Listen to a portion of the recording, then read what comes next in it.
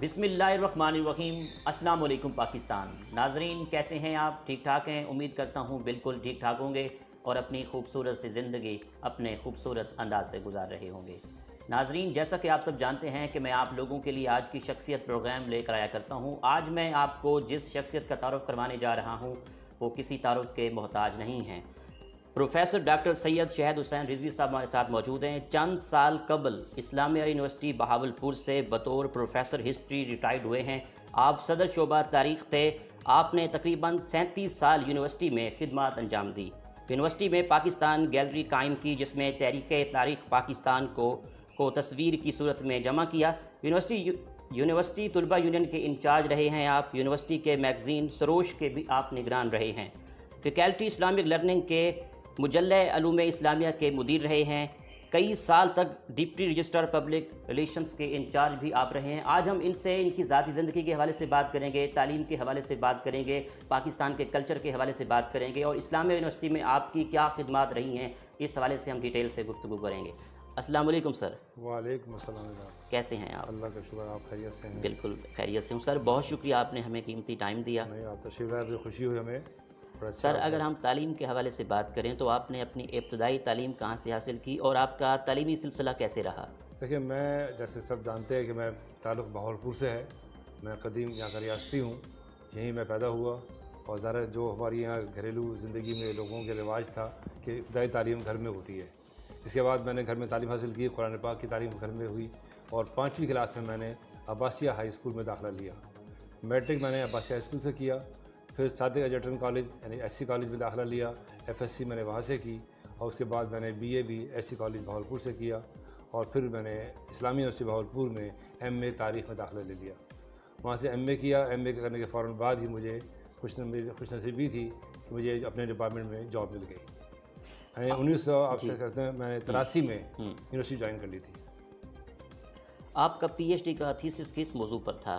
PhD मैंने ज़्यादा उसे फ़ौरन फ़ौरन नहीं की तरासी मैंने उसे ज्वाइन किया पढ़ाया। किया फिर थोड़ा सा अपना हम्म। जहन बना तो मैंने बहावलपुर का इंतखब किया क्योंकि बाहुलपुर से मेरी एक ख़ास नस्बत है मैं जैसे कहा मैं बहावलपुरी हूँ मेरे अपने वालिद का बहुत सारा काम बाहुलपुर पर है बहावलपुर की तारीख को अगर हम देखें कि जदीद नुक़ नज़र से अगर किसी ने लिखा है तो मेरे वालिद सैयद शाह दिलवी थे तो ज़ाहिर मुझे घर से ये मुझे मिला ये हौसला मिला और मैंने बहावलपुर को अपना मौजूद तहकीक बनाया मेरा मौजू था socio and educational development in Bahawalpur state, यानी बहावलपुर की, रियासत बहावलपुर की तालीमी और समाजी तारीख, रियासत के क़्याम से इंजमाम तक, यानी पाकिस्तान में शमूलियत तक। ये मेरा मौजू था और मुझे यह भी एजाज़ हासिल है कि मैं वो खुश नसीब हूँ जिसने बहावलपुर पर पहली पी एच डी की।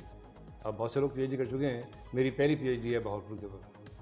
सर आपकी ज़र निगरानी में कितना तालब इलमों ने एम फिल और पी एच डी कर चुके हैं? हमारे यहाँ देखें एम फिल वगैरह शुरू हुआ दो हज़ार दो और तीन में।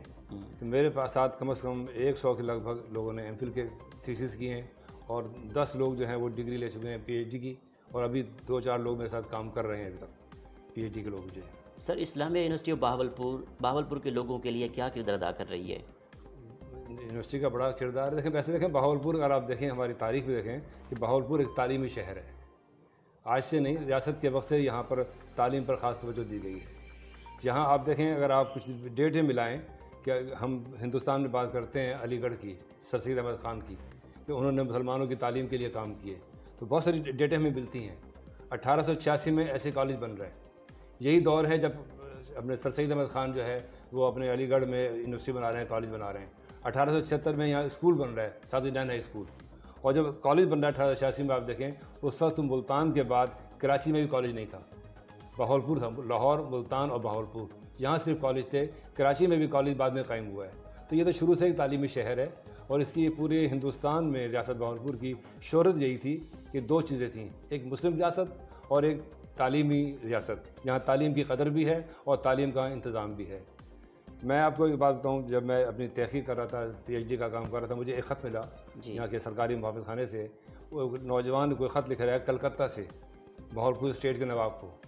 और वो अपना तारुफ करा रहा है कि मैं मुसलमान हूँ और ग्रेजुएट हूँ।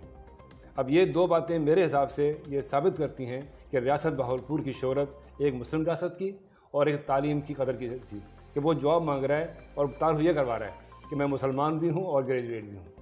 लिहाजा यहाँ उसको ऑफ़र की गई जॉब की। इस तरह यहाँ यहाँ तालीम मुफ़्त थी। आप देखें पंजाब की बड़ी बड़ी जो शख्सियात हैं इस वक्त इल्मी वो यहाँ पढ़ी हैं। यहाँ तालीम मुफ्ती स्कॉलरशिप था उनके लिए बड़ी सहूलतें थी यहाँ पर थी। तो नवाब बहावलपुर ने या रियासत बहावलपुर ने हमारी तालीम के लिए अपने आवाम के लिए बड़े अच्छे इकदाम किए हैं।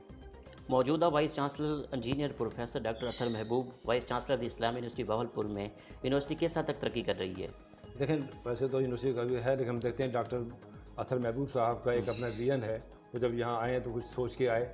और उन्हें आते हम देखते हैं कि उन्होंने फौरी तौर पे एनर्जेटिक बंदा था बहुत जल्दी काम शुरू किए। पहले तो यूनिवर्सिटी के मामला सही किए। लोगों के हमारे यहाँ ये रिवाज था कि दस दस साल केस रुके रहते थे प्रमोशन के। उन्होंने फौरी तौर पर सिलेक्शन बोर्ड्स किए यानी कि साल में छः छः आठ आठ बोर्ड भी किए और जो मुस्तक थे उनको प्रमोशन दी। और इंफ्रास्ट्रक्चर यहाँ का दुरुस्त किया है और कल्चर ख़ासतौर जो है हमारा इसका रिसर्च कल्चर उसको डेवलप किया है। और यूनिवर्सिटी अब देखते हैं हम उनकी कोशिश भी यही है हमें लगता है ये इन बहुत कम अरसे में ये एक वर्ल्ड लेवल पे यूनिवर्सिटी पहुँच जाएगी। बाहवलपुर की कम्युनिटी के क्या मसाइल हैं जिन पर आपका फोकस है और आप चाहते हैं कि इनको हल हो जाना चाहिए? देखें बाहवलपुर तो सही माने में मसाइलिस्तान बन चुका है। अगर हम देखते हैं कि रियासत बहावलपुर जब तक थी जो यहाँ पे खुशहाली थी लोगों को जो सहूलतें थी उसका बाद हमें जब तो थी कि पाकिस्तान में शमूलियत के बाद इसमें मज़ीद इजाफा होगा वो नहीं हुआ। और लिहाजा बहावलपुर के लोगों में आवाम में ख़ास तौर पर एहसास महरूमी बढ़ता जा रहा है। चाहे वो मुलाजमतें हों, चाहे अली तालीम की सहूलतें हों, या शहरी सहूलतें हों, यहाँ पे तजारत का मसला हो, सनत का मसला हो मतलब यहाँ बहावलपुर को मुसलसल नज़रअंदाज किया गया है। ज़रूरत भी इसी, और यही वजह है कि लोगों में फिर मुख्तलिफ़ तहरीकें जन्म देती हैं और जो मुखालिफ क़वतें होती हैं, मुल्क दुश्मन क़वतें होती हैं, वो उनको इस्तेमाल करती हैं। हुकूमत को चाहिए कि वो यहाँ के जो मसाइल हैं, उस पर तोज्जो दें और उनको हल करने की कोशिश करें ताकि लोगों में एहसास महरूमी जो है वो दूर हो। आपके कितने आर्टिकल पब्लिश हो चुके हैं? मेरे इस वक्त वैसे तो मैं सैकड़ों की तादाद में मेरे आर्टिकल होंगे। जो अखबार में शाया होते रहे रसाइल में। लेकिन जो हम कहते हैं तहकीकी मकालत और ख़ास तौर पर वो मकाला जो H E C approve journal छपे हैं वो more more than thirty five मेरे हैं आर्टिकल जो H E C approve journal में इंटरनेशनल और नेशनल दोनों में शाया हो चुके हैं। और अगर किताबों की बात करें तो कितना कितनी किताबें छप चुकी हैं और अदब से कितना लगा हुआ है और किस हद तक आप अदब को पसंद करते हैं? देखें मैंने तो किताबें मेरी बहुत सारी हैं वैसे तो लेकिन ये जो अब तक पब्लिश हो चुकी है सामने आ चुकी हैं वो तो चार या पाँच किताबें हैं इसमें एक पहले मैंने अपने वाले साहब के सफ़रनामे थे हम्म। उन्हें मुरतब किया सफ़र सफ़र के नाम पर।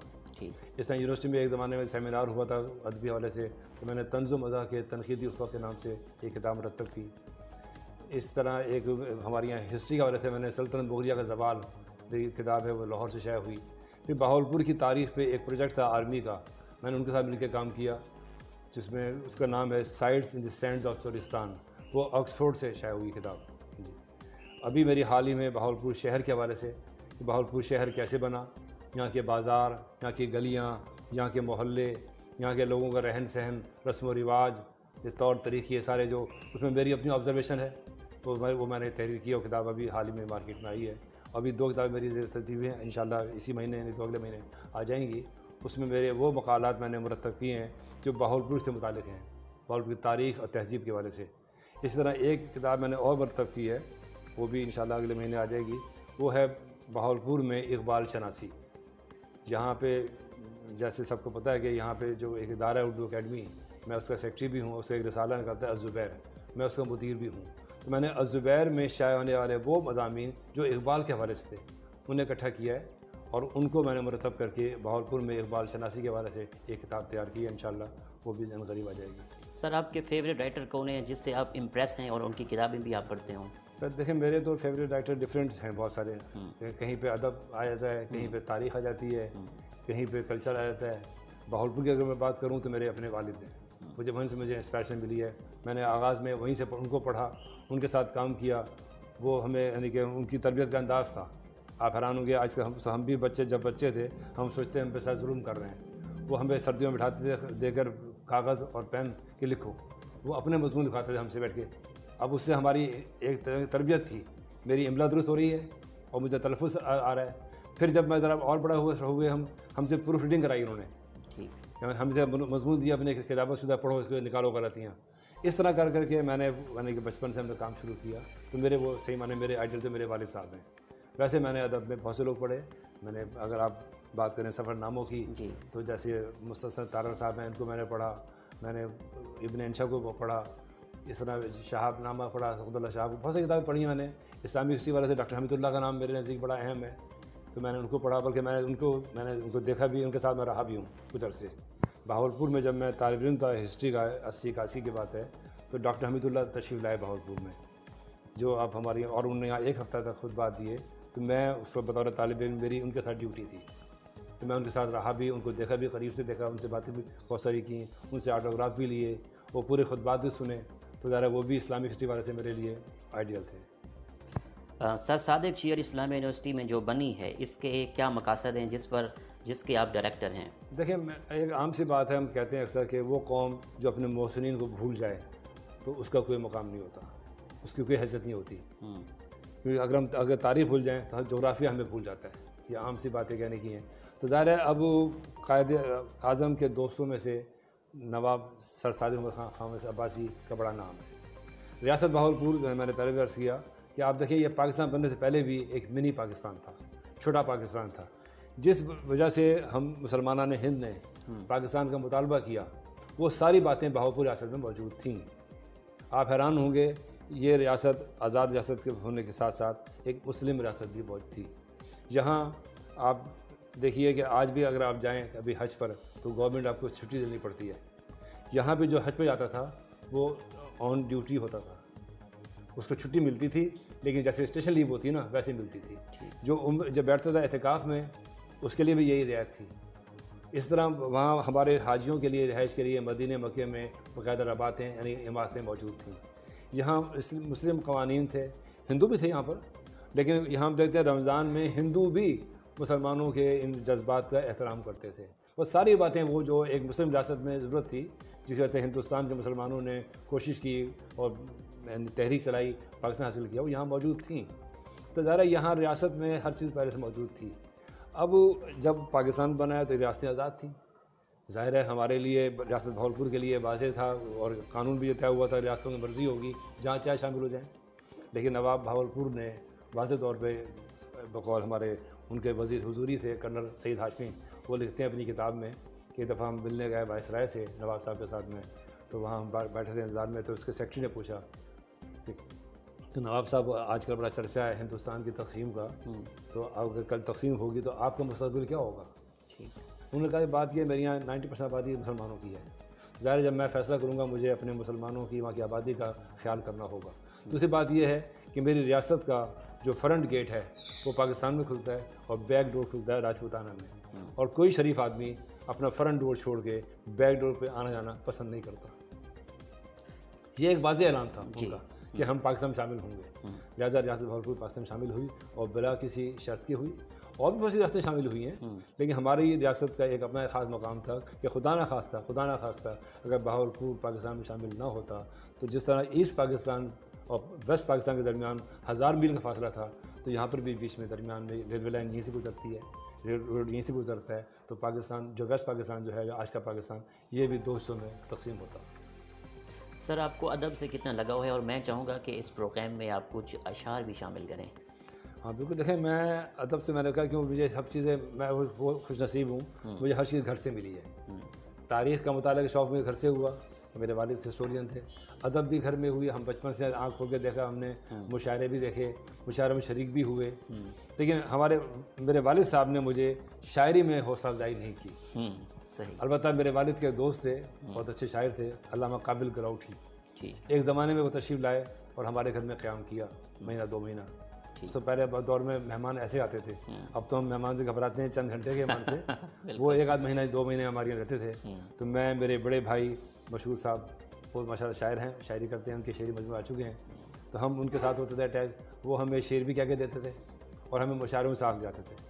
जहाँ वो जाते मुशारा होता हम हम्म। साथ जाते पहले हम पढ़ते। ठीक उसके बाद हमें शौक़ हुआ ज़्यादा हमने कुछ कहना खुद शुरू किया हम्म। फिर जब कॉलेज में आए तो उस दौर में बैरून खुलियाती यानी कि मुशायरे भी होते थे कॉलेज में डिबेट्स होती थी तो उसमें हिस्सा लेना शुरू किया तो उस दौर में मैंने कुछ शायरी की हम्म। वाले साहब ने इस तरह भी की लेकिन बाद में फिर मैं नसर पर आ गया कि मुझे यहाँ प्रॉब्लम यह था हमारे साथ कि ज़ाहिर के वाले साहब शायर थे। हम्म। हम जहाँ भी जाते चाहे हम खुद लिख के ले जाते ठीक। तो लेकिन लोग कहते कि अपने बारिश से लिफा के ले आया होगा। ये प्रॉब्लम था। तो मेरे बड़े भाई जो मशहूर साहब हैं वो क्यों कराची चले गए। हम्म। कराची में उनके प्रॉब्लम नहीं हुआ। तो उनको वहाँ मौका मिला खुल के शायरी करने का। तो वो माशाल्लाह वो आज चार पाँच शेरी मजमू के यानी कि शायर भी हैं उनके शेर मज़बूत शायर हो चुके हैं। मैंने भी शायरी छोड़ दी थी इसी वजह से। अच्छा। लेकिन उस दौर में मेरी शायरी है बहुत सारी मैं दो चार शेर अर्ज़ करता हूँ। जी। ये भी मुझे उस काली दौर के तरी मशारे के ही हैं। ठीक सर। अब कहते हैं हम उनसे हम्म। मुलाकात करेंगे। वाह। अब कहते हैं हम उनसे मुलाकात मुलाकात करेंगे। हम्म। जब होगी मुलाकात तो क्या बात करेंगे? क्या बात है क्या बात और नाकाबिल हल मसले मैं खाने में रखो। हम्म। नाकाबिल हल मसले मैं खाने में रखो। ये काम भी हम रिंद खराबात करेंगे। क्या बात है अच्छा। इस तरह एक और मेरी गज़ल है इस तरह की वो भी तरही मुशायरे की थी। छोड़कर सहरा जो सुबह शहर दीवाने गए। छोड़कर सहरा जो सुए शहर दीवाने गए दूर तक गम के बगूले उनको समझाने गए। और इस कदर थे नक्श गहरे उनके जुल्म जौर के। हम्म। इस कदर थे नक्श गहरे उनके जुल्म जौर के जिस लिबास वज़ा में भी आए पहचाने गए। वाह वाह क्या कहने और हम भी उनकी हुस्न की शोहरत के ज़िम्मेदार हैं। हम भी उनके हुसन की शोहरत के ज़िम्मेदार हैं। हैं। साथ साथ उनके हमारे भी तो अफसाने गए। ये मिसरा था? जी। मिसरा तरह था कि साथ साथ उनके हमारे अफसाने भी गए। उस पर यह गज़ल कही थी बहुत में। अच्छा। और मुझे फ़र्स्ट प्राइज़ मिला था उस वक्त माशा- कॉलेज लाइफ के अंदर। बहुत अच्छा। इस तरह बहुत सारे हैं। यूँ तो शाहिद दोस्ती का मुदई हर शख्स था। वक्ता था मेरा। हम्म। यूँ तो शाहिद दोस्ती का मुदई हर शख्स था। हम्म। वक्त जब आया तो सारे दोस्त पहचाने गए। क्या बात है। क्या बात है अच्छा। तो अच्छा सर आप कितना मैगजीन के एडिटर रह चुके हैं? देखिए मैंने ऐसा किया कि मैं शुरू से काम रहा इल्हाम मेरे घर का पर्चा था। हम्म। तो स्टूडेंट लाइफ में ही मैंने इल्हाम को संभाल लिया था। हम्म। वालिद साहब ने टोटली मेरे हवाले कर दिया था। शुरू में वो इदारिया लेते थे बाद में उन्होंने इदारिया छोड़ दिया था। मेरे ज़िम्मे था टोटली और मेरे ही एक रुझान था मेरा थोड़ा सा दीन की तरफ़। तो इल्हाम को सियासत से हमने दीन की तरफ़ चेंज किया। तो इल्हाम एक दीनी सियासी और समाजी पर्चा बन गया। फिर जब मैं यूनिवर्सिटी जॉब में आया हूँ तो यूनिवर्सिटी का जो मुजल्ला था, तुलबा का सरोश नाम से मैगज़ीन मैं उसका एडिटर इंचार्ज रहा हूँ। और ये मैं गलबन दो हज़ार पाँच तक मैं उसका इंचार्ज रहा हूँ, उसके बाद ये शायद हुआ ही नहीं। यानी एटी एट में यूनियन बनी है, अठासी में तो मैं स्टूडेंट यूनियन था, मैं उसका भी इंचार्ज रहा हूँ, और यूनिवर्सिटी के तलबा का मैगज़ीन था, सरोज, उसका भी इंचार्ज रहा। और मेरी इदारत में मेरी निगरानी में वो शुमारे शाया होते रहे। फिर इल्हाम मैंने शाया किया, करता रहा। और वालिद साहब के इंतकाल के बाद एक हमारे यहाँ इदारा है उर्दू अकेडमी के नाम से। वालिद साहब उसके सेक्रेटरी थे उसके मुदी और उसका रिसाला है ज़ुबैर उसके मुदीर थे। तो मुझे उनका फिर सेक्रेटरी बना दिया गया और मुझे मैं ही फिर उसके सारा मुदीर बन गया। तो आप देखें 90 से 2021 आ गया है इकतीस साल हो गए हैं मुझे। मैं उसके अज़ुबैर जो मुजल्ला है उसका मुदीर भी हूँ और उर्दू अकेडमी का सेक्रेटरी भी हूँ। अज़ुबैर आप देखें कि पाकिस्तान का वो वाद मुजल्ला है जो बहत्तर साल से मुसलसल शाया हो रहा है। 59 में शुरू हुआ 60 के अंदर और वो हो रहा है। और ये आप खुशी होगी बहावलपुर का भी बल्कि जनूबी पंजाब का ये पहला वाहिद पर्चा था जो एच ई सी से बतौर रिसर्च जनरल अप्रूव था। वो भी मेरे शौक़ था मेरी कोशिश थी कि हमारे लोगों को यहाँ प्रॉब्लम होते हैं तहकी मकालत हमारे शाया नहीं होते। तो मैंने कोशिश की ज़ुबैर को इस मकाम पर लेकर आया कि एच ई सी ने इसको अपनी अप्रूवल इसमें शामिल कर लिया। वैसे भी ज़ुबैर आप देखें हिंदुस्तान पाकिस्तान में नकूश का एक बड़ा नाम आता है ख़ास तौर पर अदबी मौजूद पे ख़ास नंबरों के लिहाज से। लेकिन हम क्योंकि वो लाहौर में बैठा है नकुश था अब तो वहाँ नहीं रहा इंतकाल हो गया उनका छोड़ गया नकुश बंद हो गया। लेकिन ये है कि वो उनका शहरत ज़्यादा थी। हम बहावलपुर में थे हमारे पास वो वसाइल नहीं थे लेकिन हमने बहुत सारे ख़ास नंबरों में अज़ुबैर को अवलियत हासिल है नकुश के मुकाबले में। मिसाल के तौर पर अदबी मार्के नंबर असनाफ़ अदब नंबर कुतुब खाना नंबर आप बीती नंबर इस तरह के बेशुमार कोई बीस पच्चीस के करीब हमने अजुबैर के ख़ास नंबर हैं। और वो रिवायत मैंने वालिद साहब के बाद मैंने भी जारी रखी। मेरे दौर में भी बहावलपुर नंबर शाया हुआ चोलिस्तान नंबर शाया हुआ बहावलपुर के आसार कदीमा नंबर शाया हुआ। इसी तरह से सफ़रनामा नंबर शाया किया हमने। हमने यहाँ पे अभी हाल ही में शाया किया तंज़ मज़ा नंबर। अच्छा। तो ये कि ख़ास नंबर भी अजुबैर के वो भी एक एक किताब है। हमने कोशिश की उर्दू अकेडमी का एक प्रोग्राम था यहाँ पर। कि 59 में एक इदारा बनाया गया। यहाँ पे एक कॉन्फ्रेंस भी हुई थी उर्दू के एक ज़माने में तो बाबा उर्दू मौलवी अब्दुलरक साहब तशरीफ़ लाए थे। उनकी तकरीर थी उनको ये तो ज़ाहिर की थी कि बाहलपुर एक वाहिद खत्ता है। जहाँ मुझे उम्मीद है उर्दू के लिए कुछ काम होगा। हम्म, और अगर पाकिस्तान में उर्दू यूनिवर्सिटी बनती है तो उसके लिए बहावलपुर ही मुनासिब जगह है। ठीक। तो उसके बाद यहाँ ये उर्दू अकेडमी बनी गवर्नमेंट की सरपरस्ती में। वो यहाँ कमिश्नर थे मुस्तरद जुबैरी साहब। अच्छा। बड़े अच्छे राइटर थे पुराने आईसीएस थे। हम्म, उनको शौक़ हुआ कि यहाँ पे एक इदारा बनाया जाए जो यहाँ पर यानी कि यहाँ की तारीख़ पर यहाँ की तहजीब पर काम भी करे। फिर ख़ास तौर पर वो मखसूता जो लोगों के घरों में पड़े हुए हैं उन्हें मंजर आम पर लाया जाए। तो इस तरह ये उर्दू अकेडमी बनी और उसने काम शुरू किया। उस वक्त के जस्टिस थे हाई कोर्ट वेस्ट पाकिस्तान के रुस्तुम कियानी का नाम गुजरा है। वो तशरीफ़ लाए उन्होंने उसका अफ्ताह किया और इससे उर्दू अकेडमी का आगाज़ हुआ। उसकी तैयारी मजल्ला निकाला गया। फिर उर्दू अकेडमी ने आप देखें अब तक कोई सत्तर से ज़्यादा किताबें शाये की हैं मुख्तलि मौजूद पे। और आज कल आप उर्दू अकेडमी के तहत क्या काम सर अंजाम दे रहे जी हैं मैं मैं मैं उसका सेक्रेटरी भी हूँ तो ये कि हमने सत्तर किताबें पहले शाये कर चुके हैं फिर अजुबैर के ख़ास नंबर भी हैं आम शुमारे भी हैं और अजुबैर को एक ख़ास इल्मी दुनिया में उसको तस्लीम किया जाता है एक अच्छा जर्नल मैंने देखे अब हमारे कुछ प्रॉब्लम है हम्म, कि क्योंकि यहाँ क्योंकि एक ग्रांट इदारा है गवर्नमेंट से ग्रांट मिलती है हमें कई साल से पंजाब गवर्नमेंट ने ग्रांट नहीं दी। क्योंकि इसका और ज़रिया माश कोई नहीं है। मैं इसका सिर्फ़ एजाज़ी काम करता हूँ कि मेरे वालिद ने बनाया इदारा। ना इसका कोई इसका कोई चपरासी है ना इसका कोई क्लर्क है। सारे काम मैं खुद करता हूँ और कोई तनख्वाह नहीं है। सिर्फ़ एक मिशन के तौर पे। इसीलिए इदारा अब तो चल रहा है। हम्म, और तीन साल हो गए हमें ग्रांट नहीं मिली। फिर भी आप देखें अब जुबैर भी छप रहा है बराबर। हम्म, क्योंकि जो किताबें फ़र्क होती है वो जमा करते हैं कुछ पैसे मिलाते हैं और हमने कोशिश की भी है काम चलता रहे। चलता रहे। हमारी कोशिश ये है उर्दू अकेडमी के ज़रिए तमाम जो हमने काम किया ख़ास तौर पे बाकी काम तो जनरल किए हमने बहावलपुर का जो आप कह सकते हैं क्लासिकल अदब था क्लासिक था यहाँ का। यानी कि हमारा सराइकी की शायरी सराइकी के अदब उसको हमने उर्दू में कन्वर्ट करके उस तबके को पाकिस्तान के लोगों को जो सराइकी नहीं जानते नहीं जानते। उनको हमने मुतार करवाया कि यहाँ का कल्चर ये है यहाँ का अदब ये है यहाँ की शायरी। ख्वाजा गुलाम फरीद हैं। हम्म, आपको दीवान फरीद मशहूर है। हमने उसे शाया किया। पहले शाया हो चुका था नवाज़ हमने उसको रीप्रिंट किया। हम्म, पहले एटी टू में किया वाले साहब ने।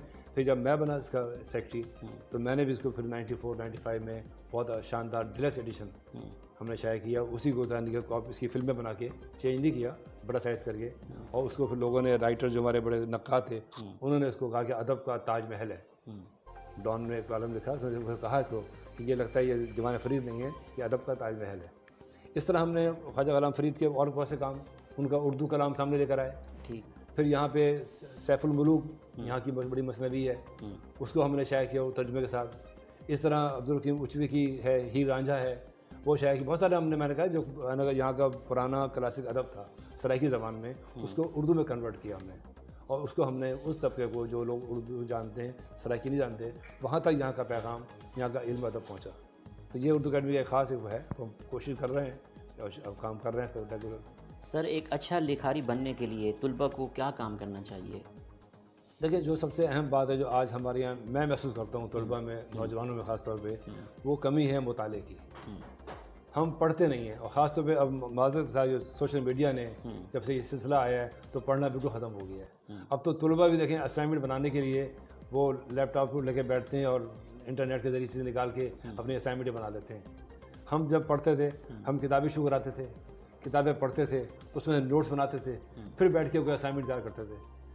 तो ये है कि अब अगर आपने लिखना है चाहे वो शायरी है चाहे आपने नसर लिखना है अगर आप अफसाना निगार बनना चाहते हैं अच्छा तो आप जब तक पचास सौ अफसाने नहीं पढ़ेंगे डिफरेंट अफसाने निगार को नहीं पढ़ेंगे तो आपको समझ में नहीं आएगा। यही शायरी का भी है।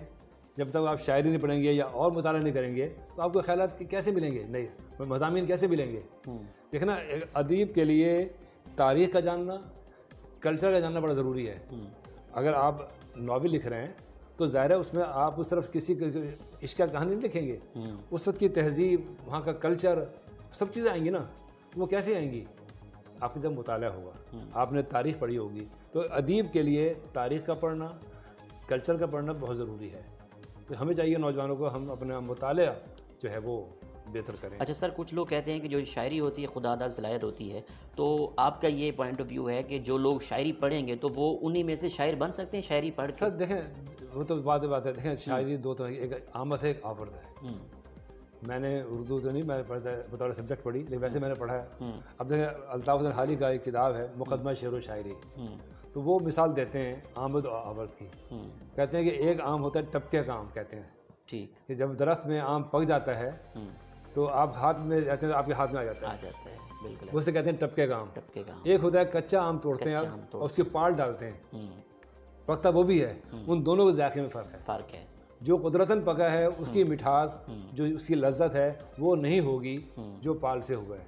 यही शायरी में है जो खुदादा सलाहियत है जो अल्लाह देगा वो ज़्यादा खूबसूरत बनेगी आवर्त के मुकाबले में। लेकिन जब उसका मुताला होगा तो उसको मजामी मिलेंगे। देखो वो तो तबीयत में आपकी है ना शायराना। आप काफ़ियाबंदी कर रहे हैं। देखिए शायरी सिर्फ़ काफ़ी कमाई का नाम तो नहीं है। जी। अब अब ऐसे ही हो गया है। अब शायरी काफ़ी कमाई का नाम है कि बस काफ़िया नाप लोग काफ़ी बराबर है। लेकिन देखिए अगर आपके साथ मुताला भी होगा तो आपको फिर नए मजामी मिलेंगे नए ख्याल मिलेंगे। बिल्कुल मैं यहाँ बहुत से शायर जानता हूँ बहुत पुराने बहुत अच्छे शायर थे नहीं है दुनिया में अल्लाह मफरत करे। उनका सिर्फ़ फ़र्क यह था बेचारे उनकी तालीम नहीं थी। मुताला नहीं था। अब वो जिस महफिल में बैठते थे कहीं पे को सुन ली तो कई दिन तक उन पर उस शायरी पे वही असरात होते थे। अच्छा। उनके शेर वैसे ही आते थे। हम्म। अगर कहीं बात हो रही है कतल की तो उनकी शायरी में मख्तल का ज़िक्र आ रहा है कतल का ज़िक्र आ रहा है तो सब खून का ज़िक्र आ रहा है। हम्म। तो ये मुताला बारह उसमें होना चाहिए। ये सलाहियत अपनी जगह अल्लाह ताली की दी हुई लेकिन मुताला बारह सर पब्लिक सर्विस कमीशन के इम्तिहान में तलबा को तारीख की तैयारी किस तरह करनी चाहिए? सर आपका वही बात है देखें जब तक आप जो प्राइमरी सोर्स नहीं पढ़ेंगे हमारे यहाँ मैंने अर्ज़ किया जब से हम्म। आ गया सोशल मीडिया हम शॉर्टकट्स में आ गए हैं। अब गाइडेंस अभी शुरू हो गई हैं। अब तलबा हमारा जो है जो पढ़ने वाले भी है ना वो गाइडों का सहारा लेते हैं। हम्म। अब गाइडें जो लोग लिख रहे हैं वो कारोबारी लोग हैं। हम्म। उसमें गलतियों की भरमार होती है। तारीखें गलत होती हैं। फिर बच्चा कहता है मैंने पढ़ा भी तो मैंने तैयारी की मैं फेल हो गया। ज़ाहिर जब आपने, आपकी इब्तदाई गलत है, डेटें गलत होंगी वाक़ गलत होंगे, नाम गलत होंगे, कैसे नंबर मिलेंगे? तो जब तक आप जो प्राइमरी सोर्सेज हैं, जो रेयर बुक्स हैं, उनको पढ़ने की आदत डाली जाए। अगर आप इस्लाम पे पढ़ रहे हैं, तारीख इस्लाम तो तारीख इस्लाम की जो अच्छी किताबें हैं, पुरानी शिबली नमानी की है, और जो अच्छी किताब और हैं, उनको पढ़ें, डॉक्टर अहमदुल्ला को पढ़ें। अगर पाकिस्तान पर अगर आप पढ़ रहे हैं तो इसमें अच्छे अच्छे स्कॉलर मौजूद हैं, डॉक्टर सरदार महबूद हैं, और बहुत से डॉक्टर इश्तियाक कुरैशी हैं, इन लोगों को पढ़ें आप। जो यानी कि जो प्राइमरी सोर्स किताबें हैं। अब जब गाइडें पढ़ते हैं तो गाइडों में की गलतियों में भरमार होती है। फिर ज़्यादा बच्चा रह जाता है। फिर वो होता है कि मैंने तो टेस्ट भी दिया मैं मुझे फेल कर दिया गया। इंटरव्यू दिया सवाल पूछा जवाब नहीं आता। बड़ा दुख होता है। हम भी जाते हैं सब लोग इंटरव्यू लेने के लिए। प्रॉब्लम ये होता है हम्म। कि बच्चा जो है वो रटा मार के आया होता है गाइडों से। और गाइडों में बातें गलत लिखी होती हैं पूरी। तो इसलिए मेरा मशवरा ये है तलबा को कि वो जो प्राइमरी सोर्सेज हैं जो अच्छी रेयर बुक्स हैं उनको पढ़ने की आदत डालें। सर यूनिवर्सिटी के अलावा आपकी क्या मसरूफियात है और आपके क्या क्या मशागल है आजकल? सर, वो मैंने अभी जैसे ज़िक्र किया कि यूनिवर्सिटी के अलावा मैं क्योंकि शुरू से ही वाले साहब से अटैच था तो इल्हाम मैं निकालता रहा। इसके अलावा मैंने जंग अखबार की नुमाइंदगी की नवाए वक्त की नुमाइंदगी भी मैंने की। पहले मेरे बड़े भाई थे, उनकी जॉब हो गई तो मैंने संभाल लिया नवाए वक्त को। मैं उसमें काम करता रहा। कॉलम निगारी मैंने शुरू की नवाए वक्त से। आइन बहालपुर के नाम से मैंने मुस्तकिल मैंने कॉलम लिखे। पहले मेरे बड़े भाई लिखते थे, फिर मैं लिखता रहा। इस तरह ये मैंने शुरू से आगाज़ किया। फिर वाले साहब के साथ मैं अटैच था। फिर यहाँ हमने, बतौर तालब इल्म जब थे तो हमारे चंद दोस्तों का ग्रुप था यहाँ पर। हमने यहाँ एक तंजीम लाई मजलिस सुखन के नाम से। हर हफ़्ते हम उसके इजलास करते थे। तनकीदी, कभी वैसे यानी इजलास के शायर नज़म सुना दी किसी ने अफसाना पढ़ दिया, किसी ने मजमून पढ़ दिया। वो हमें शुरू से एक हमें माहौल मिला। फिर अब जब हम यूनिवर्सिटी में आए तो हमने एक बनाया मेरे बहुत सारे जो दोस्त थे, वो जर्नलिज्म में पढ़ रहे थे। जैसे कुदरतुल्ला शादात हैं एक दो और लोग थे हमारे फजल हबीद हैं सदूस का लीडर तो हमने बनाया जर्नलिज्म स्टडी सर्कल। इन दोनों तंजीमों का मैं सदर रहा और ये मेरे दोस्त जो थे, साथी, कोई सेक्रेटरी होता था, कोई होता वो हमने यहाँ अच्छी सी तकारीब कराई, बहुत अच्छी, बड़े पैमाने पर तकारीब भी कराई।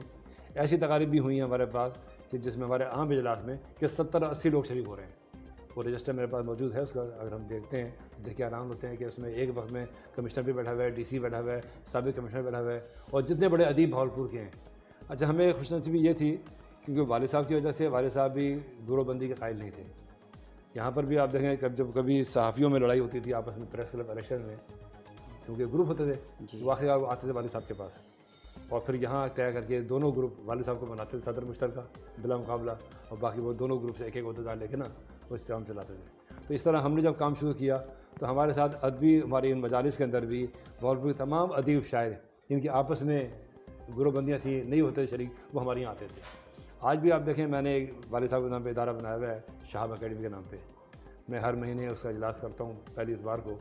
और हमारे यहाँ वाहिद हमारा ये ये इजलास होता है जिसमें पैंतीस चालीस लोग कम अज़ कम होते हैं शरीक। और उसमें वो लोग जो एक दूसरे के इजलास में नहीं जाते हमारे यहाँ आते हैं।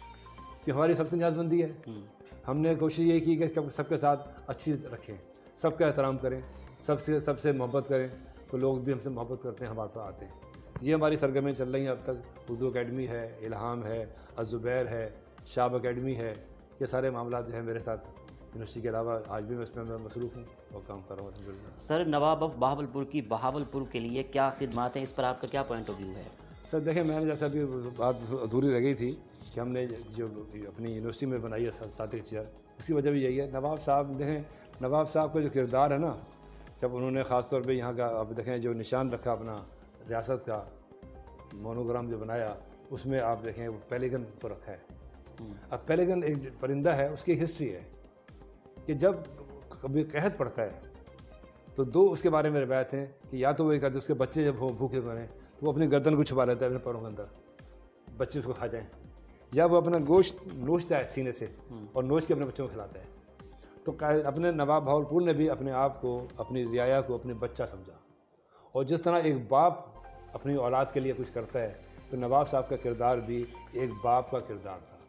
रियासत के अपने आवाम को लिए, अपनी रियाय के लिए उन्होंने एक बाप का किरदार अदा किया। लिहाजा कोशिश करके उस जो उनके वसाइल थे रियासत के, वो उन्हें आवाम की फलाह बहबूद के लिए खर्च किए। तालीम इदारे बनाए, सेहत के लिए इदारे बनाए। अब देखें ये बी वी एच आपके सामने मौजूद है, उन्नीस सौ चार में कायम हो रहा है। ये बिल्डिंग नई। इसके अलावा इससे पहले भी हमारे यहाँ छोटे अस्पताल, छोटी डिस्पेंसरियाँ मौजूद थी। ये जो आपका, अगर आप जाएँ कभी बाज़ार में फ़तेह खां बाज़ार से, अंदर, जिसको हम कहते हैं जनाना अस्पताल रोड, वहाँ जनाना अस्पताल है। ये उससे भी पहले का है। तो यहाँ पर देखें इस तरह बहुत सारे उन्होंने सराय बनवाई। फिर यहाँ हिंदू थे गुजरा, उन लोगों ने भी सराय बनवाई। तो नवाब साहब ने रियासत के जो वसाइल थे, हम कह सकते हैं उनको आवाम की फलाह बहबूद के लिए ख़र्च किया। तालीम यहाँ मुफ़्त थी। फिर देखें उन्होंने रियासत के लोग थोड़े से हमारे माजत के साथ काम कम करते थे। लिहाजा सतलुज वैली प्रोजेक्ट जब बना तो उन्होंने ओपनली लोगों को दावत दी पंजाब से कि जिसके बाद बैल की जोड़ी है, वो आ जाए। और मामूली बर नाम पैसों पर उनको ज़मीनें दी गई।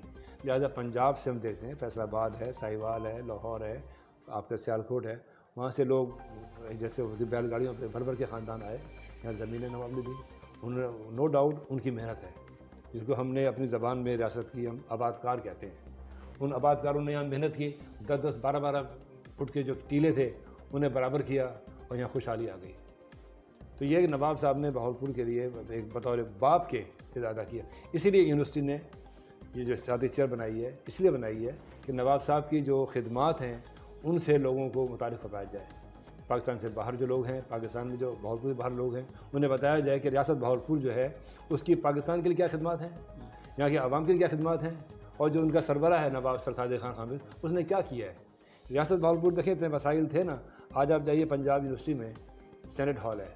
वो रियासत बहावलपुर ने बना के दिया था। एच में जाइए, पूरा एक ब्लॉक बहावलपुर नवाब ने बना के दिया। मस्जिद वहाँ बनी हुई है। आपके इस्लामिक कॉलेज पेशावर हो, उसको फंड दे रहे हैं। आपका अलीगढ़ है, देवबंद है, अंजमन हिमायत इस्लाम है। कौन से ऐसे बड़े इदारे हैं जिनको नवाब बहावलपुर ने रियासत की तरफ़ से माली मदद नहीं की? तो ये इनकी बड़ी खदमात है और इसको इन खदमात को उजागर करना ज़रूरी है। ये हम कोई उन पर एहसान नहीं कर रहे। ये मैं समझता हूँ कि अगर हमने चेयर बनाई है या बहावलपुर हम करते हैं, ये हमारा फ़र्ज़ बनता है कि हम अपने मोहसिनों को याद करें। लोगों को बताएँ कि नौजवानों को खासतौर पर बताएँ भाई ये आपके मोहसिन हैं, जिनकी वजह से आज हम सुख का सांस ले रहे हैं। आज हम जब कायद अजम बात करते हैं अलामा इकबाल की, ये कहते हैं ना कि उनकी कोशिशों से पाकिस्तान बना, आज हम इज़्ज़त की ज़िंदगी गुजार रहे हैं। तो उसमें हमारे नवाब बहावलपुर भी शामिल हैं, उनकी भी खदमात शामिल हैं। उन्होंने भी उतना ही कंट्रीब्यूट किया है, जिस तरह कायद अजम ने किया अलामा इकबाल ने किया तो और अकाबरीन जो कर रहे हैं। लिहाजा उनकी खदमात से नई नस्ल को आगाह करना बहुत ज़रूरी है। बहावलपुर सूबा बनना चाहिए या नहीं इस पर आपका क्या ख्याल है? देखिए बहावलपुर सूबा बनना चाहिए क्योंकि ये कोई एहसान नहीं होगा। हम्म। ये सूबा बनना नहीं है ये मादरत है। हम्म। सूबा बहाल करना है। बहाल करना है। हमारा मुतालबा ये है रहा है हमेशा से बहावलपुर का कि बहावलपुर की सूबाई हैसियत की बहाली है। बनना और चीज़ है सराय की सूबा बनना चाहिए। हम्म। आपका जैसे वहाँ पर बात हो रही है क्या नाम है पेशावर साइड पे वहाँ पे बात होती है सुबह बने सिंध को तकसीम करें बनाएँ। हमारी तो बहाली है। हमारी तो बहावलपुर रियासत की पाकिस्तान बनने के वक्त ये जो वायदा हुआ था, उसमें ये बात तय हुई थी कि बहावलपुर की जो पोजीशन है, वो और रियासतों से मुख्तलिफ़ होगी। लिहाजा जो पहला आइन हमारा मअतल हो गया छप्पन वाला, उसमें ये बात आ रही थी कि इसकी हैसियत सूबाई होगी पाँचवा सूबा ये होगा। लेकिन ज़रा वो आइन आगे ख़त्म हो गया, ना बन सका, आगे के लोगों ने जाती की। वरना ये हमारे यहाँ तो देखें पोजीशन थी, हमारा अपना वज़ीर अला था, हमारा अपना हाई कोर्ट था, सारा हमारा वो सिस्टम मौजूद था जो रियासत एक सूबे का होता है। तो उसको सूबे की बहाली है हमारी, बनना नहीं है और ज़रूरी है। और ये बहावलपुर की हमने पहले बात की थी आपसे बहावलपुर की महरूमियों का। तो महरूमियों का इजारा इस तरह हो सकता है कि आप बहावलपुर सूबे को उसकी हैसियत दें। और वैसे भी देखें, अगर आप ओवरऑल देखें पाकिस्तान में तो पता नहीं हमें सियासतदानों को क्या प्रॉब्लम है। क्यों सूबे इंडिया में कितने सूबे हैं? देखें, आप इंतजामी लिहाज से बना दें सूबे। अगर आपको याद हो कि गालबन यहाँ पे होते थे, क्या नाम मुस्लिम लीग उसके, क्या नाम है, भुट्टो दौर में असम्बली के मेंबर थे अंसारी जफ़र अहमद अंसारी साहब। उनकी क़्यादत में एक कमीशन बनाया गया था यही इसी हवाले से सूबों के हवाले से। तो उन्होंने तजवीज़ दी थी कि हर डिवीज़न को सूबा बना दिया जाए। इंतजामी लिहाज से बड़ा अच्छी तजवीज़ थी। इससे लोगों के मसाइल हल हो जाएँगे यहाँ पे। जिस तरह आप देखें मुशरफ दौर में डिस्ट्रिक्ट गवर्नमेंट का तस्वूर सामने आया था तो बहुत से मसाइल हल हुए थे। तो लिहाजा ये पता है हम सियासतदानों की क्या प्रॉब्लम है कि हर कहते हैं मैं वो है ना इर्तगाज इख्तियार कि सबके ऊपर मेरा इख्तियार हो। ये ख़त्म होना चाहिए। अब ये इख्तियार को तकसीम करें आगे बांटें तो मसाइल भी हल होंगे लोग भी खुशहाल रहेंगे। सर पाकिस्तान के निज़ाम तलीम पर आपका क्या ख्याल है? इसमें क्या असलाहत होनी चाहिए?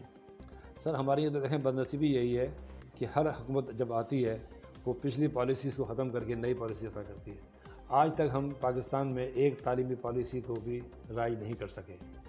हमारे यहाँ कई निज़ाम चल रहे हैं कई सिस्टम चल रहे हैं। कहीं हमारे यहाँ प्राइवेट स्कूलों का और निज़ाम है कहीं आपके यहाँ इंग्लिश है, कहीं उर्दू है, आपके स्कूल चल रहे हैं। इस तरह निसाब भी मुख्तलिफ़ चल रहे हैं। अब जो आपके बाहर के स्कूल हैं, जैसे आप विकन ऑफ़र स्कूल उनके और निसाब हैं। जो पाकिस्तानी स्कूल हैं, चाहे इंग्लिश मीडियम भी स्कूल हैं, उनके और निसाब हैं। तो ज़रूरत यह है कि आप यकसा निसाब तालीम राइज किया जाए। और मैं तो समझता हूँ, मेरे इसके अलावा भी एक अहम बात है कि जो प्राइमरी तालीम है, वो हर जगह मादरी ज़बान में होनी चाहिए। बच्चा जितनी जल्दी मादरी ज़बान में कुछ हासिल कर सकता है वो अंग्रेज़ी या उर्दू में नहीं कर सकता। तो छोटी तालीम जो है बच्चों की प्राइम तालीम वो मादरी ज़बान में हो और उसके बाद पूरे मुल्क में यकसा निज़ाम तालीम राइज किया जाए। पाकिस्तान में रिसर्च कल्चर को किस तरह बेहतर कर सकते हैं? वो भी यही इसी तरह ही है कि आप सबको मैार एक बना दें। हमारे यहाँ देखें मसला ये है कि हमारे यहाँ रिसर्च तो हम पढ़ते ही नहीं। रिसर्च करते ज़रूर हैं लेकिन ठीक है रिसर्च करने की चीज़ है मानता हूँ मैं। लेकिन बात ये हमारे यहाँ शुरू से रिसर्च कल्चर अडॉप्ट किया ही नहीं गया। हमारे यहाँ चोरी को चोरी नहीं समझा जाता। ये बड़ा प्रॉब्लम ये भी हो गया आजकल कि लोग चार किताबें सामने रखते हैं एक किताब लिख लेते हैं। यही हाल आजकल मकालात का थीसिस का हो गया है चाहे वो एम का हो एमए का हो पीएचडी का हो। ठीक। हम मक्खी पे मक्खी मार रहे हैं। क्योंकि पढ़ना जब तक आप पढ़ेंगे नहीं आप तहकीक नहीं कर सकते। जब तहकीक नहीं करेंगे आप तजज़ा कैसे करेंगे? तो नया थीसिस तो डेवलप हो नहीं रहा हमारे यहाँ नया थीस देखें थीस नया थीस नई बात की जाए। हम नई बात नहीं कर रहे हैं। मैं हिस्ट्री का तालब इल्म हूँ अब हिस्ट्री के इतने तालब जो लोग थीसिस कर रहे हैं पी कर रहे हैं वो नई बात क्या ला रहे हैं? वो पुरानी बातों को दोबारा पेश कर रहे हैं। बिल्कुल। तो ये तो वही हो गया शराब पुरानी है। और आपने जाम नया ले लिया आपने।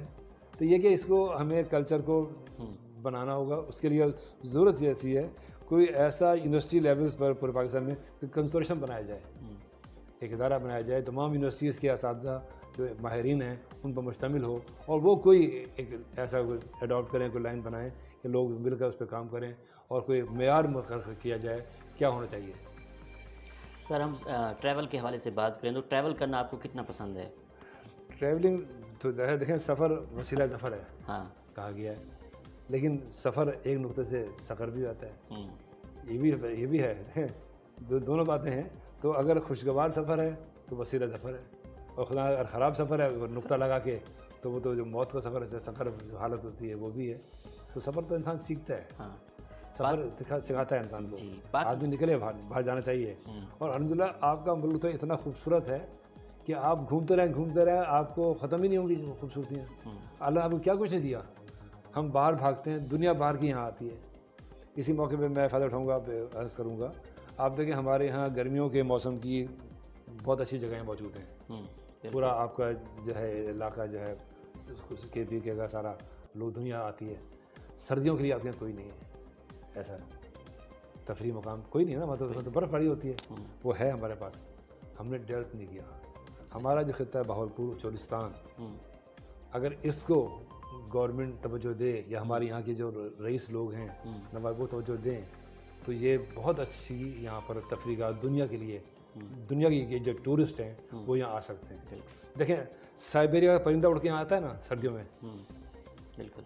जब एक परिंदा साइबेरिया का उड़ के यहाँ आपके यहाँ आ सकता है सर्दी में हम्म, तो क्या वहाँ के आपके टूरिस्ट नहीं आएँगे? आ सकते हैं। सिर्फ़ ये उसको डेवलप करना है। करना हमारे पास अल्लाह ने दिया ये किले मौजूद हैं। हम्म, आप देखें सरहद पार यही किले वहाँ पर राजस्थान में। हम्म, इंडिया उनको इस्तेमाल कर रहा है।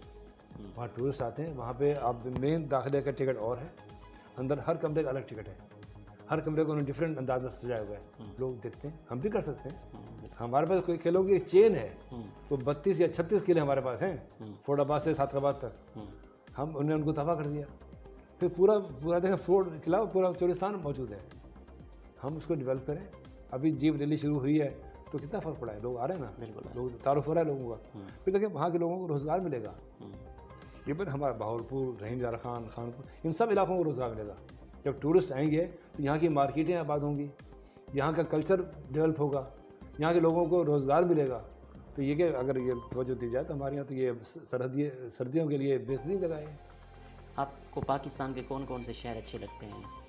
देखिए मेरा तो पाकिस्तान से मोहब्बत है। मैं सारे शहरों को पसंद करता हूँ लेकिन सबसे ज़्यादा बहावलपुर मैं कराची जाके जाता हूँ लाहौर जाता हूँ इस्लामाबाद जाता हूँ दुनिया के अपने पाकिस्तान के तमाम मुल्क पे रहूँ शहर पे रहूँ हम्म, चाहे पेशावर का है कोयटा है सब जगह गया अलहमदिल्ला मैं हर जगह जा सकता हूँ महीना दो महीना रह सकता हूँ।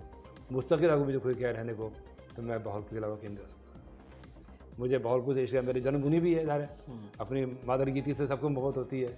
और देखें जो सुकून जो मोहब्बत बहावलपुर में मिलेगी आपको वो कहीं नहीं मिलेगी।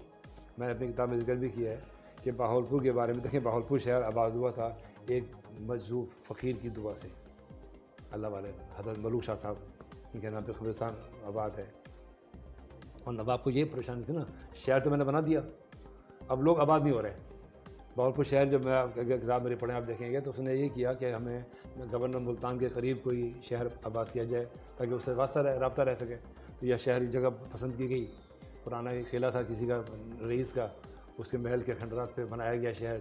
चार दीवारी बन गई, दरवाजे बन गए, अंदर उन्होंने बाज़ार बना दिए चार पाँच, और उसमें महराबें बना दी, दुकानों के लिए पीछे प्लाट दिए खाली, आगे दुकान बनाओ, पीछे घर बनाओ। लोग फिर भी आबाद नहीं हो रहे। थे तो फिर उन्होंने दुआ कराई, वो रास्ते में जब जाते थे, अहमदपुर आते थे तो मलूक शाह जो कब्रिस्तान है, उसका नाम था बस्ती मसीता वाला तो नाम अब पड़ गया ना, मैंने वो बस्ती थी, बस्ती मसीता वाली कि उस कब्रिस्तान में आज भी देखें, पंद्रह बीस मस्जिदें हैं। उससे और मस्जिदें होंगी।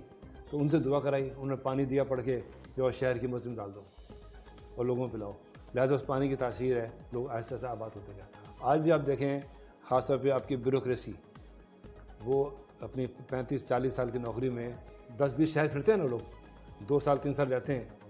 अब वो बीस मुल्क बीस शहर अपने पाकिस्तान के फिरते हैं बहालपुर को नहीं भूलते। हम्म, तो ये यहाँ के पानी की तासीर है। वो अब यहाँ के मैं जानता हूँ फरहान को मुल्तान भी रहे वो लाहौर भी रहे कराची भी रहे लेकिन उनकी, अगर वो राइटर हैं, उनकी तहरीर में बहालपुर आ रहा है। अगर राइटर नहीं भी हैं, वो बहालपुर लाजमी आते हैं बहालपुर से अगर करते हैं। तो ये एक फ़कीर की दुआ से शहर हुआ है। हमारा पुरमन शहर है, मोहब्बत वाला शहर है, लोगों में भी मोहब्बत है, लोग नफ़रतें नहीं करते, यहाँ कोई तासुब नहीं है। आप देखें बहालपुर में पंजाबी सराइकी सिंधी, बलोची, उर्दू बोलना सब लोग रहते हैं ना। आपस में रिश्तेदारियाँ भी हैं, मोहब्बतें भी हैं। कभी यहाँ खुदा न खस्ता आप देखें बहालपुर रियासत के अंदर पाकिस्तान बनने के बाद, इससे पहले कभी कोई लसानी फसाद नहीं हुआ। इवन हमारे यहाँ मजहबी फसाद भी नहीं हुए। हमारे यहाँ ये मजहबी शहर भी हमारा। लेकिन यहाँ शिया भी हैं यहाँ ईसाई भी हैं यहाँ यहाँ हिंदू भी रहते हैं देखें। एक ज़माना था बहावलपुर शहर में एक भी मुसलमान की दुकान नहीं थी। तमाम दुकानें हिंदुओं की थीं। हम्म, तमाम आला होते भी हिंदुओं के पास है लेकिन कोई फसाद नहीं हुआ कोई लड़ाई नहीं हुई। तो ये मोहब्बत वाला शहर है। तो ये मेरे ख्याल में पाकिस्तान का वाहिद शहर है जहाँ सिर्फ़ मोहब्बतें हैं नफ़रतें हैं ही नहीं। आपकी नज़र में कामयाबी क्या है? कामयाबी मोहब्बत का नाम है मेरे ख्याल में। अगर आप लोगों से मोहब्बत करते हैं तो आप कामयाब हैं। आपकी इस कामयाबी के सफ़र में माशाल्लाह आप कामयाब रहे हैं तो दोस्तों का इस का कितना साथ रहा? मेरे साथ देखें मैं तो देखें मैं तो अपने आप को हर लिहाज समझता हूँ खुश नसीब हम्म, मेरे वालदेन मेरे दोस्त हम्म, मेरे अज़ीज़ व क़ारिब मेरे इस सबने मुझसे मोहब्बत की है। हम्म, मैं बल्कि निकम्मा हूँ मोहब्बत करने में। मैं उनको वो रिस्पांस नहीं देता। मेरे जितने दोस्त अहबाब हैं आप समझे वन साइड है। वो मोहब्बत करते हैं मुझसे। और वो शायद मेरे शहर की खूबी है। ये नहीं कि मैं कोई नखरे करता हूँ। मेरी आदतन मैं मैं थोड़ा सा कम गो हूँ। हाँ। मैं कम रबते रखता हूँ लोगों से। मेरा एक दोस्त है आप हैरान होंगे अभी आपने ज़िक्र कर दिया। जी। मेरे साथ फ़र्स्ट ईयर में पढ़ता था। सही। नहीं मैं आखिर रहता है। मुझे डेली फ़ोन करता है और चालीस पैंतालीस मिनट की बात करता है मुझे रोज़ाना। अच्छा। ये मामूली बात नहीं रोज़ाना फ़ोन करता है। ठीक। जब जो आपके मोबाइल नहीं थे हम्म। पी टी पे करता था। हम्म, हर ईद बकरीद में सुबह सुबह नमाज़ बाद उसका फ़ोन आता था। तो ऐसे दोस्त हमारे हैं ना, ये मोहब्बत वाले? ये ये मोहब्बतें मिली हैं, जिस वजह से मैं समझता हूँ कि मैं बिल्कुल बेनियाज होकर काम कर रहा हूँ। मुझे कभी प्रॉब्लम नहीं हुआ ना घर से हुआ। मैंने इतने जो काम कर लिए, मैं देखें सुबह निकलता था घर से, रात के एक बजे कमरे में सोने आता था। कभी मुझे घर में प्रॉब्लम नहीं हुआ, ना मेरी मिसेस ने, ना मेरी वालदा ने जब थी, उन्होंने किया, या मेरे बच्चों ने, या मेरे बहन भाइयों ने, मेरे कभी किसी काम में रुकावट डाली। यही दोस्तों का हाल है। दोस्तों ने ताउन किया है। शफकत किया मैंने भी ये किया है कि कभी मैंने दोस्तों को मायूस नहीं किया। मैं किसी अहम काम से भी जा रहा हूँ, अगर मेरा कोई दोस्त आ गया है तो मैं कभी भी मैं उसको ना नहीं की मैं उसके साथ बैठा हूँ, उसे टाइम दिया है, पूरा। और ये मेरे वालिद नसीहत थी जब आपके घर को चल कर आए, कभी उसको मिलने से इनकार ना करना। वो अल्लाह ने भेजा आपको चल कर आपके घर आया है। अब वो किसी काम से आया है, कैसे भी आया है, आपने उसको वक्त देना है। हमारी खुशी होती है, हम मेरे बच्चे भी ये करते हैं। कि जो आता है हम उसको टाइम भी देते हैं बैठते भी हैं। तो ये सब ये मोहब्बतें हमें वहाँ मिल रही हैं। और यही मैं समझता हूँ कि देखें अल्लाह तक पहुँचना भी मोहब्बत है। क्योंकि देखें हम हम बात करते हैं ना इल्म की तो इल्म क्या है? इल्म हक की तलाश है ना। और हक क्या है? अल्लाह ताला अल्लाह की ज़ात है। तो ज़ाहिर है जब आपने हक तक पहुँचना है तो फिर उसके बंदों से मोहब्बत करेंगे तो पहुँचेंगे ना। अल्लाह से मोहब्बत हर कोई कर लेता है। असल तो उसके बंदों से मोहब्बत की जाए। जब उसके बंदों से मोहब्बत करेंगे आपने कहानी नहीं सुनोगी इब्राहिम अबू बिन अदम की? वो यही तो थी कि यानी जो अल्लाह के बंदे मोहब्बत करेगा, अल्लाह उससे मोहब्बत करेगा। तो इसलिए इसी को हमने माटो बनाया। मेरी कोशिश यही होती है कि मेरी ज़बान से, मेरे कलम से, मेरे किसी फेल से किसी बंदे को नुकसान ना पहुँचे। बाकी मैं गुनागार हम हैं, गलती हो जाती होगी उनसे, अनजाने में गुना भी हो जाता होगा, किसी से जाती भी हो जाती होगी। लेकिन कोशिश यही है कि दानिस्ता किसी को नुकसान ना पहुँचाएँ। ये फेल ऐसा है जो आपको कामयाब जाता है अगर आपकी फैमिली मेंबर के हवाले से बात करें तो आपके कितने बेटे हैं और आजकल वो किन के अहदों पर फाइज हैं? मेरा अलहमदिल्ला मेरे तीन बेटे एक बेटी है जी। जो अल्लाह ने बड़ा अच्छी ज़िंदगी दी है मुझे बहुत अच्छी मुझे फैमिली दी है। सबसे बड़ा बेटा मेरा शहीद सरीज भी वो मैनेजमेंट साइंस में उसने एम एस किया हुआ है और डिपार्टमेंट में यूनिवर्सिटी में जॉब कर रहा है। उससे छोटा है उसने एम एस किया है कंप्यूटर साइंस में। साथ वो दो साल चैनल लगा कर आया है चाइना लैंग्वेज एक प्रोजेक्ट था गवर्नमेंट का स्कॉलरशिप पे गया था। वो भी यहाँ पर भी पार्ट टाइम पढ़ा भी रहा है यूनिवर्सिटी में और भी जॉब कर रहा है। सबसे छोटा जो है वो एडमिशन लिया उसने, अभी बी एस में। तो बेटी ने M English B S English किया था, अब एम कर रही है। अलहमदिल्ला अल्लाह का शुक्र है, बहुत अच्छी मेरी फैमिली है। मैं समझता हूँ कि मैं लकी हूँ इस मामले में कि मैं खुशगवार लाइफ मेरी मिसिज़ है, मेरी पढ़ी लिखी है। एमए है, लेकिन उसने नौकरी नहीं की, बच्चों को पढ़ाया। मेरे बच्चों की जितनी तालीम है, जितनी तरबियत है, उसमें मेरा कोई किरदार नहीं है। मेरी मिसिज़ का है। मैं जैसा बंदा जो कभी अखबार नवीस भी है, रिसाले का एडिटर भी है यूनिवर्सिटी में भी काम कर रहा है, मैंने यूनिवर्सिटी में काम ऐसे भी किया, मैं रात को ग्यारह ग्यारह बजे भी आया हूँ। जश्न फरीद हुआ है, सारे काम मैं कर रहा हूँ। हालाँकि मैं शुभ सराय की बंदा नहीं था। तमाम कॉन्फ्रेंस में यूनिवर्सिटी में, हर चीज़ में आगे मैं होता था। मैं अलहमदिल्ला यूनिवर्सिटी में जितना भी काम पब्लिकेशन का था ना जी, मेरे दौर तक, चाहे वो बादशाह से तकरीरें हों, चाहे कॉन्फ्रेंस में ब्रोशर छप रहे हों, चाहे कोई हिस्ट्री बन रही हो, सारा मैं करता था। आज भी यूनिवर्सिटी में जितना लोग, यानी कि वो मदामी छप रहे हैं लोगों के यूनिवर्सिटी के बारे में उसकी जो हिस्ट्री होती है वो मेरी होती है सारी लिखी हुई तो ये कि मैं तो घर में रहा ही नहीं सर मामला में। तो मेरी मिसेज़ ने अपनी तालीम को अपने उसको बच्चों में सर्व किया। उन्होंने बच्चों को पढ़ाया भी बच्चों की स्कूलिंग भी की सब कुछ किया। तो ये मेरी खुशनसीबी है कि मुझे प्रॉब्लम नहीं हुआ कभी इस तरह का। सर आप हिस्ट्री के उस्ताद हैं। आखिर में तारीख़ के तलबा तलबात को क्या पैगाम देंगे आप? देखें तारीख़ जो है ना वो महज बादशाहों के अरूज या जवाल की दास्तान नहीं है। हम्म। किससे कहानी नहीं है। तारीख़ जो है तहजीब और तमदन का नाम है, उसका मुताल का नाम है। तो तारीख़ को हम इस तरह पढ़ना चाहिए हम समझते हैं कि सबसे सन याद कर लो, बादशाह कब पैदा हुआ, कब मरा, ये तो हर बंदा पैदा होता है, जो मरता भी है। ये कोई नई बात तो नहीं है। हमने देखना है कि फ़लाँ ने किया क्या, और वो जो किया उसने गलत, वो क्यों गलत किया ये है तारीख ना, क्या, क्यों हुआ, कैसे हुआ, और उसके रिज़ल्ट क्या हैं, उससे हम सीखते हैं जो बात करें, तारीख सिखाती है वो जब भी सिखाएगी ना, जब मैं जब तारीख को इस तरह पढ़ूँगा कि यह फ़लाँ वाक़ कैसे हुआ और उसने ये गलती क्यों की? उससे पहले गलतियाँ कहाँ हुई? तो इससे तारीख तो आपको सिखाती है। तो उसको इस अंदाज में अगर पढ़ा जाएगा तो तारीख तो आपसे अच्छा कोई रहबर कोई रहनुमा है ही नहीं। बहुत शुक्रिया आपका। आपने हमें कीमती टाइम दिया और हमें सुनने वालों को बहुत कुछ सीखने को मिलेगा। अल्लाह आपको ज़िंदगी के हर मोड़ पर कामयाबी आपको बहुत शुक्रिया। आपने तशीफ लाया हमारे पास। और मुझे बोलने का मौका मिला। जी तो नाजीन, आपने आज की शख्सियत प्रोग्राम सुना। इसी के साथ अपने मेज़बान अहमद महमूद को इजाज़त दीजिए। अल्लाह हाफिज़, अल्लाह निगेबान पाकिस्तान, जिंदाबाद।